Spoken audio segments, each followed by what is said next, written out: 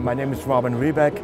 I'm co-founder and technical head of uh, a company called VerbaVoice. We are providing technology for accessible uh, events, which means that we provide uh, live text, uh, signing and interlingual translation, one of which is the live caption glass, where you can wear a glass and then you see uh, what is spoken on the live scenario, uh, like you would see uh, subtitle. With the technology that we provide, uh, the person is 100% included in the uh, normal life.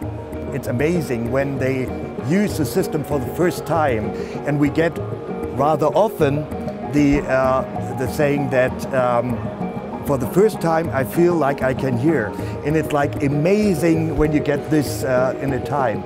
Of course, when we heard it the first time, we all cried. Uh, now we are just proud uh, that it's obviously part of the uh, uh, effect of that system that that happens to the person.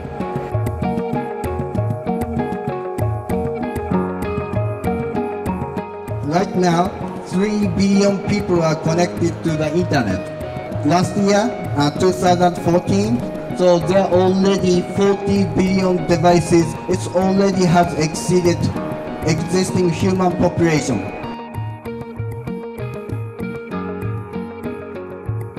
I am uh, Raul Rikk and I'm from e-Governance Academy, which is based in Estonia.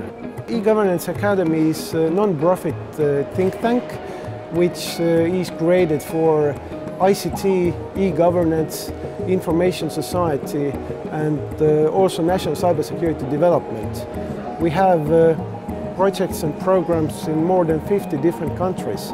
And what we do, we consult governments and high-level officials how to implement uh, e-governance ideas the way that they are actually practical and they are beneficial for the citizens, for the officials and for the businesses as well.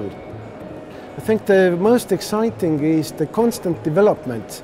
So we still don't know uh, where this ends because the ICT gives tremendous possibilities to develop society further